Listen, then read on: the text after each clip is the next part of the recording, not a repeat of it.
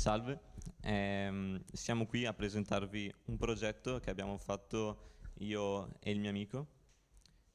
Eh, perché devo cliccare? Scusa. Io sono Sebastian Biollo. Eh, io sono Antonio Grozza. E um, inizio spiegandovi questo progetto che riguarda blockchain e cryptocurrency. Eh, per chi non sa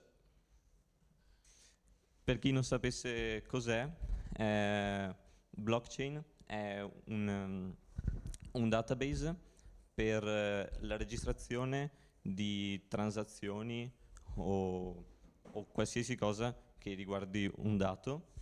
E questo dato viene inserito dentro un blocco e ogni blocco prevede eh, la parte di un dato e di, un, e di due hash cioè un hash è un identificativo univoco per identificare un oggetto. E questo rende, rende possibile creare una catena di, eh, una catena di blocchi collegati eh, in modo eh, collegati mh, mm, uno, uno, dopo l'altro senza cioè, che siano eh, obbligatoriamente eh, sequenziali. Se per esempio eh, l'hash del, del, blocco prima è diverso, il, il blocco non viene accettato. E, um, oltre, oltre, a eh, questi dati vengono salvate transazioni e smart contract. Ma cosa sono gli smart contract? Sono semplicemente dei contratti, eh, solo che sono digitali. Quindi ehm, vengono usati per, ehm, per fare degli accordi tra delle persone, come un esempio può essere che un, um, una persona vuole fare un progetto e ci sono dei finanziatori, quindi i finanziatori mettono i soldi dentro uno smart contract, che è un piccolo programma inserito dentro la blockchain, e alla realizzazione del progetto questi soldi dallo smart contract vengono passati allo, allo sviluppatore. Se però il, um, lo sviluppatore non raggiunge l'obiettivo, questi soldi vengono riportati indietro a, a, chi, a, chi è, a chi li ha messi dentro nello smart contract.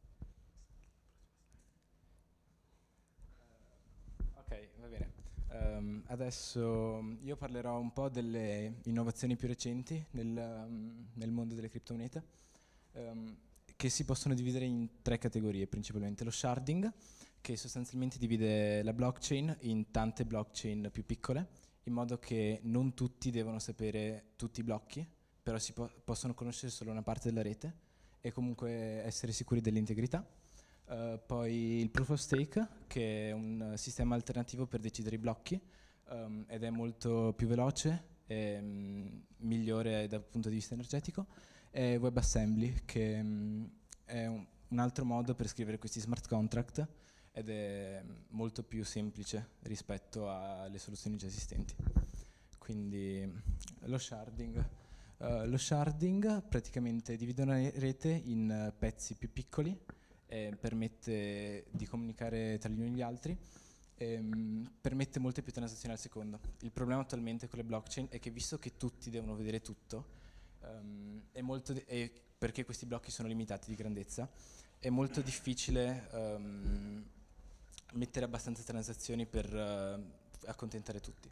Quindi dividendola in pezzi più piccoli ehm, renderebbe possibile avere molte più transazioni al secondo Ehm, però, come lato negativo, è che ha, rende gli attacchi al 51% per il proof of work o ai tre quarti per il proof of stake eh, molto più fattibili, perché al posto di avere la maggioranza su tutta la rete, basta averla su un pezzo minore. Perché non l'ho spiegata? Però vabbè. Um, per spiegare lo sharding um, devo spiegare questa struttura dati. Um, questa qui è un uh, Merkle tree eh, praticamente un Merkle tree permette di provare in modo efficiente la presenza di un nodo all'interno di un albero. Funziona hashando a coppie i nodi, eh, l'uno con l'altro, finché non rimane una sola hash. Quella lì viene chiamata Merkle root. Um, Questo qui è il disegno semplificato di una blockchain con lo sharding. Quindi al lato abbiamo due shard ehm, e in mezzo abbiamo la, la chain principale. Praticamente ehm, una serie di nodi, detti collator, per ogni blocco pubblicano sulla chain principale questo Merkle tree. Um, eh, sì. um. E poi se io voglio mandare dei soldi dalla prima shard alla seconda shard, come faccio?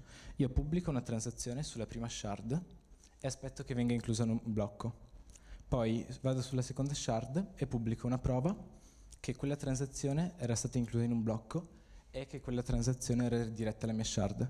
Um, a quel punto la seconda shard si salverà l'hash della transazione come uh, brucia- bruciata per non poterla riutilizzare due volte e mi daranno le monete sull'altra shard.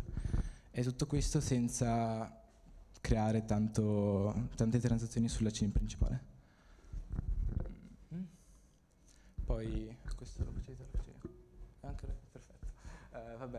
Il consensus è un problema molto importante nel blockchain perché mh, come si fa a decidere qual è la blockchain reale se tutti possono proporre blocchi? Um, le, esistono tre soluzioni principali a questo problema attualmente, uh, Proof of Work, Proof of Stake e PBTF che però non spiegherò. Um, la prima è la Proof of Work ed è quella attualmente utilizzata per uh, le più grandi blockchain, per esempio Bitcoin Ethereum usano Proof of Work.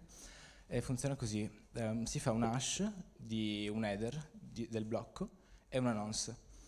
E chi riesce a trovare un, uh, una, una, hash che sia minore di una difficoltà um, al, di un numero che viene deciso dalla rete, allora um, rende quel blocco accettato e viene dato un reward a chiunque abbia trovato questa soluzione. Questo sistema però non è ideale perché A pro- utilizza un sacco di corrente.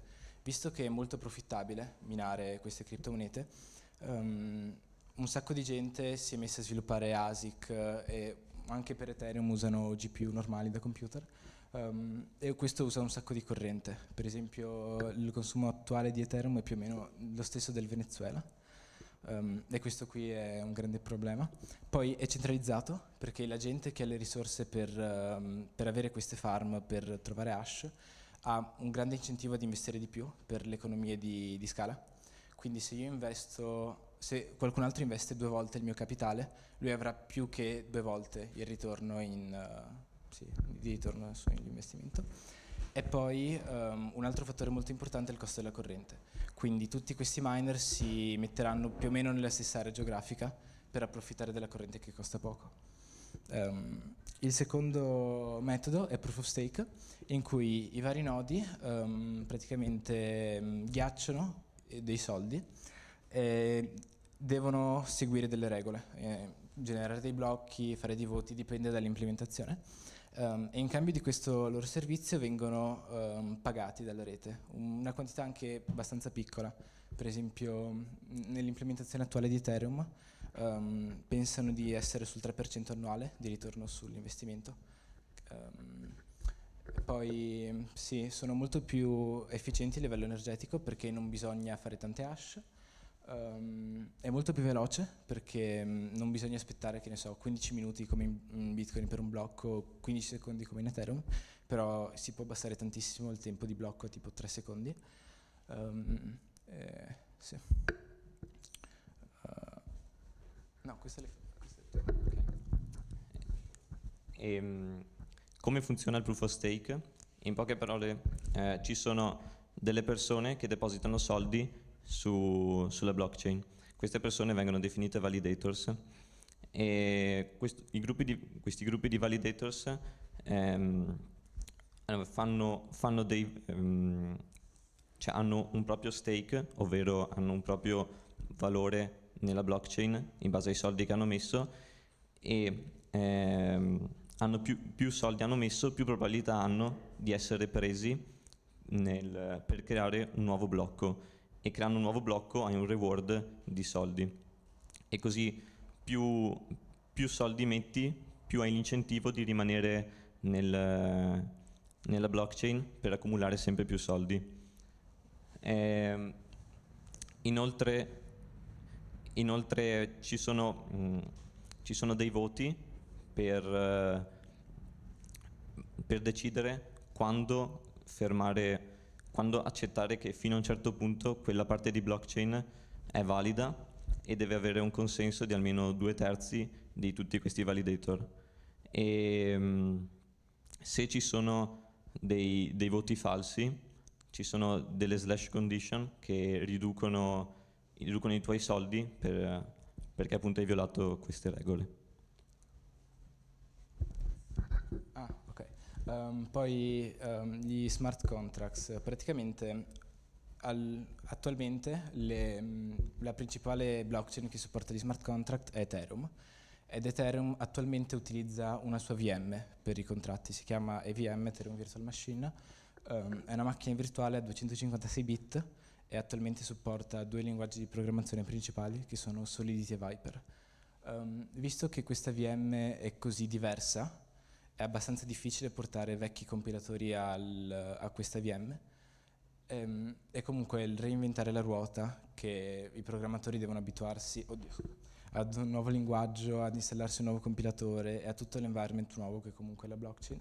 Um, noi crediamo che questa cosa renda molto più, più lenta l'adozione di questa tecnologia e quindi um, nella, nostra, sì, nella nostra implementazione um, utilizziamo WebAssembly. WebAssembly non è altro che una VM molto semplice, pensata per essere eseguita dentro i browser, è stata sviluppata dal gruppo V3C, vabbè, però il lato positivo è che viene supportata già da tantissimi linguaggi di programmazione. Per esempio si possono scrivere smart contract in quei linguaggi lì, um, Haskell, uh, Java, non l'ho testato però, e quindi rende la barriera di adozione molto più bassa. Adesso se il ping permette provo a fare una demo.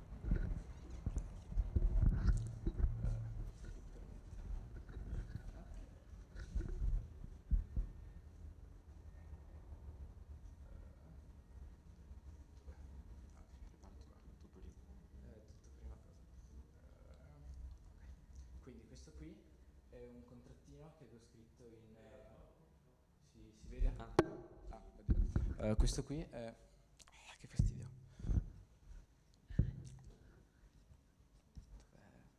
Uh, questo qui è un contrattino che avevo scritto in uh, Walt, che è un linguaggio molto simile a TypeScript, um, che fa una cosa molto semplice. Praticamente esporta una funzione che si chiama claim, um, che è chiamabile dall'utente della blockchain. E cosa fa? Praticamente si salva il valore della transazione controlla se il valore della transazione è maggiore del massimo che ha mai ricevuto e se non è massimo cancella tutta l'operazione. Se è maggiore del massimo imposta il, il proprietario di questo contratto a chi l'ha mandato e poi paga il vecchio massimo al nuovo proprietario. E poi ci sono due funzioni qui vuote per far vedere il parsing. Uh,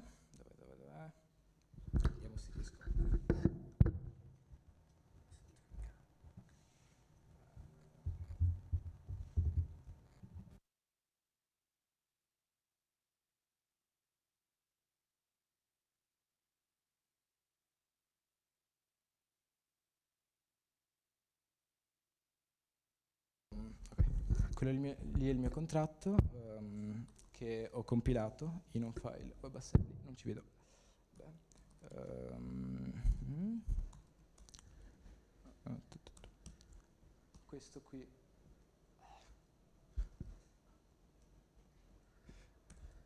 Ah, quindi questo qui è il mio contratto che così ci vedo anche io magari. Ok um, praticamente importa dalla um, dal, dalla VM delle funzioni e poi ne esporta delle altre e poi fa le operazioni in WebAssembly. Um, poi una volta che ho questo contratto, se attivo il nodo, ok, perfetto. Ok, di qua, non è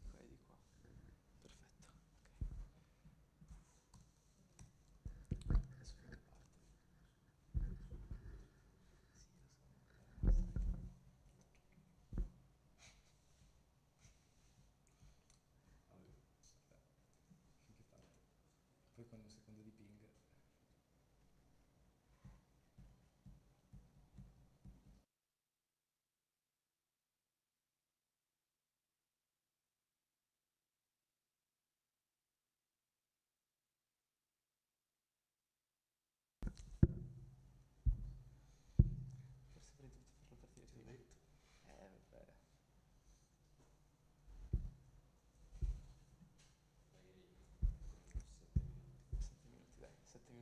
silenzio finché aspettiamo che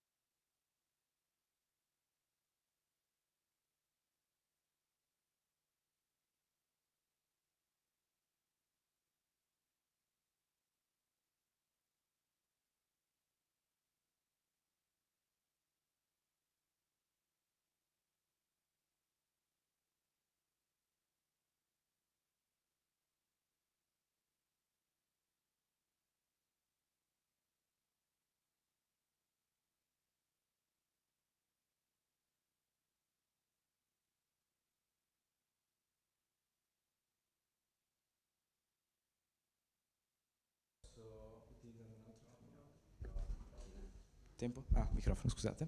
Ehm, su un altro terminale. Eh, sì, quale dei tre? Eh, diciamo che quei due saranno essenzialmente uguali, tra un po'. Eh, anzi, questo sotto che dà. Ok, per adesso quelli lì sono blocchi vuoti eh, che contengono blush precedente e nient'altro. Possiamo vedere che mh, arrivano anche su quest'altro nodo. E adesso proverò a fare una transazione e a, deploya- e a caricare un contratto sulla blockchain. Eh, blind, perché... eh, eh, no, non interactive, make transaction. Eh, ok.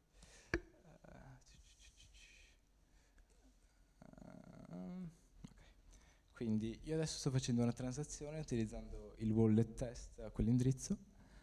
Ehm, dai. Su. Ok.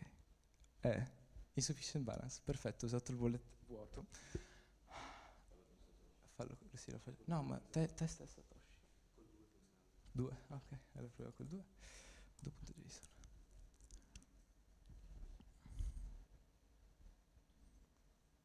Ok, adesso si può vedere che di qui è arrivata la transazione e che viene inclusa nel blocco dopo e si può vedere che mm, il, il sender eh, ha il balance che cambia e il receiver anche, e poi i blocchi successivi sono normali. Però la funzione più interessante di... se trovo il mio mouse, è che posso caricare contratti, quindi mm, qui qui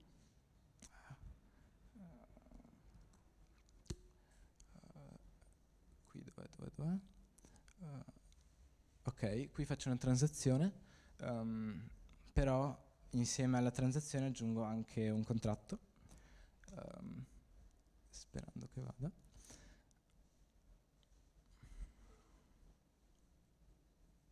Ok, perfetto, qui si può vedere l'indirizzo del contratto che poi è deterministico, quindi anche nella, nel terminale che fa la transazione è molto facile determinarlo. Um, però se adesso prendo questo indirizzo e vado di qua, posso interagire col contratto, quindi dovrei fermare il mio nodo locale.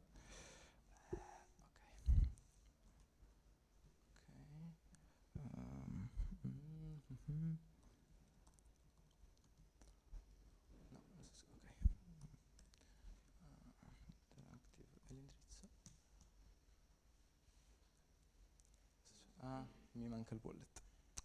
Um, siamo test. Um, ok. Grazie. What? No, che non è andato. Perché non va? È il wallet giusto? Faccio un altro proposal, allora lo ricarico. Ah, sono stupido. Ho usato il wallet dell'utente. Ah, ecco perché non andava. Vabbè questo punto e non ho, ho, internet down. No, sì che va. What? Non, non l'avevo mai testato con un secondo di ping, però...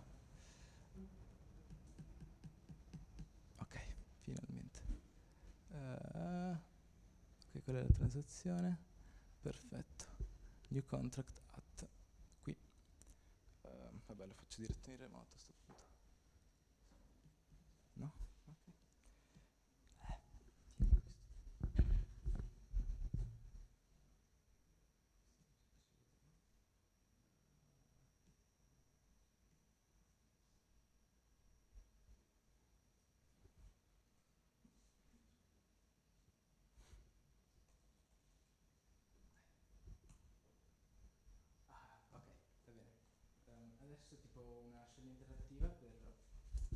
Adesso ho una semplice scena interattiva per uh, interagire con questo contratto.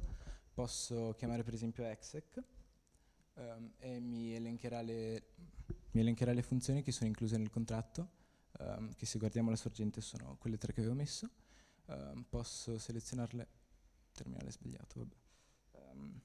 posso selezionarle una, inserire quanto voglio mandare con questa transazione e poi la manderà alla rete e lo eseguirà. Credo che panico. No, evito, evito. Vabbè. non voglio panicare il nodo, che fa un casino. Vabbè. Um, poi ha un altro paio di funzioni, per esempio memory, uh, che printa un xdump della memoria del contratto e qui possiamo vedere cosa ha salvato il contratto. In questo caso, visto che non è mai stato eseguito, non ha ancora salvato niente. E poi anche le globali, che sono un concetto un po' diverso su WebAssembly, però fanno più o meno la stessa cosa. E comunque sì, um, per adesso supporta più o meno 45 transazioni al secondo, um, che è più o meno due volte Ethereum, però questo lo fa uh, A via proof of stake, B um, facendo un trade-off di centralizzazione. I no, i, deve salvare molte, molti più, più, blocchi e quindi um, occupa più spazio, però per adesso sì, per adesso. Eh, demo non poteva andare peggio, però... Avete domande?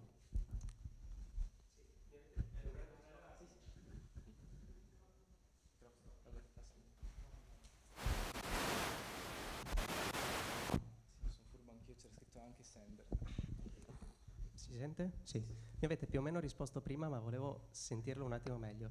Allora, questa è una VM che gira che esegue codice praticamente distribuita su n nodi, esattamente come la EVM. Sì. La differenza principale è il linguaggio usato e la proof of work, proof of work o proof of stake utilizzata o c'è altro? Um, ok, un'ottima domanda. Um, la VM eh, l'abbiamo cambiata perché non abbiamo le risorse per reinventarci i nostri compilatori e perché i linguaggi di programmazione di Ethereum fanno abbastanza schifo.